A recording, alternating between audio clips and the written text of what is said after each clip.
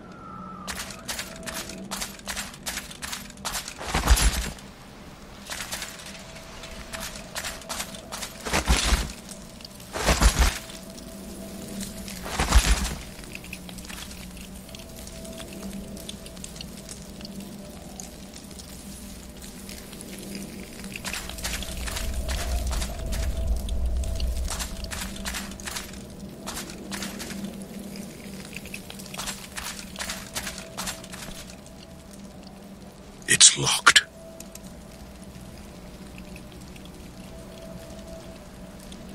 You're still losing blood, Kaslo. The Rhogar got you good. I didn't let you out of prison to worry about me. You're no use to me if you bleed to death. I will try to spare you the inconvenience of my death. The man we're looking for. How will we find him? He's the leader of all humanity. If we find his guards, we'll find him. So far, I've seen only corpses, no survivors. The Rhogar have clearly breached the walls of the monastery. and Antanas would have given his life to protect his people. If he is alive, then some of them might have survived too. There must be some way to open this door. A switch, perhaps, or a key.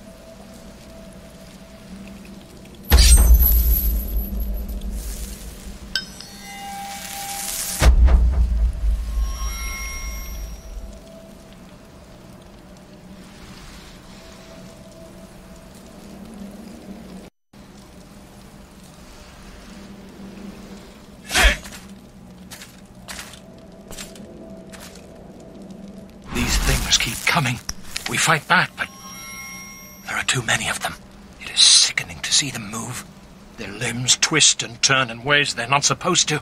And their smell. It's like fire and death creeping up your nose. One of the creatures we were fighting spat on us. The saliva hit my eye.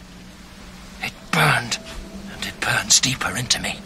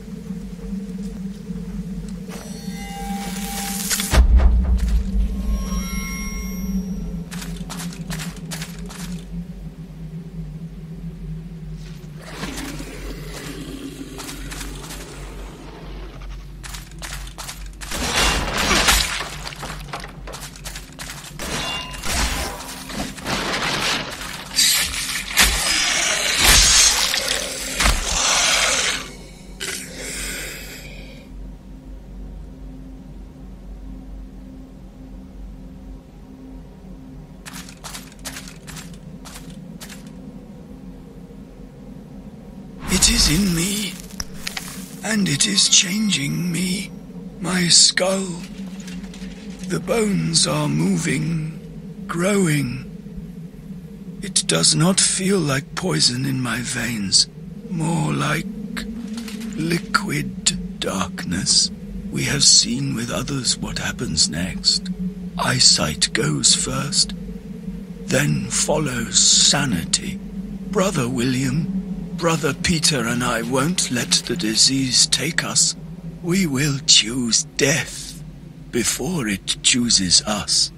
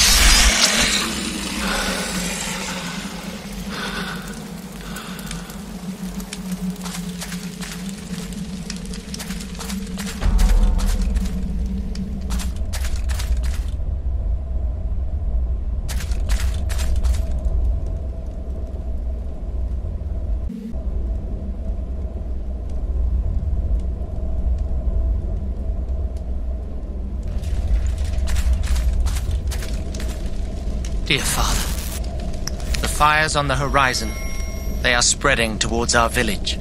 I beg you, be careful. Something evil is happening. I can feel that. You can always seek refuge here, in the monastery. Whatever happens, Antanas can save us. Please, please, be safe.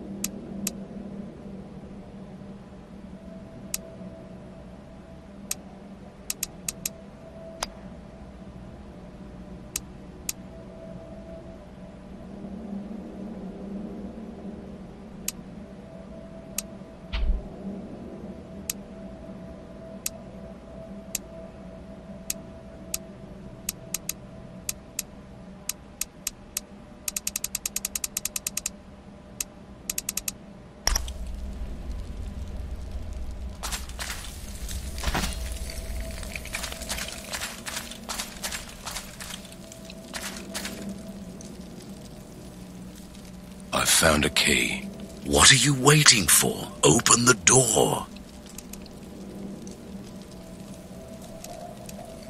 I could use some help.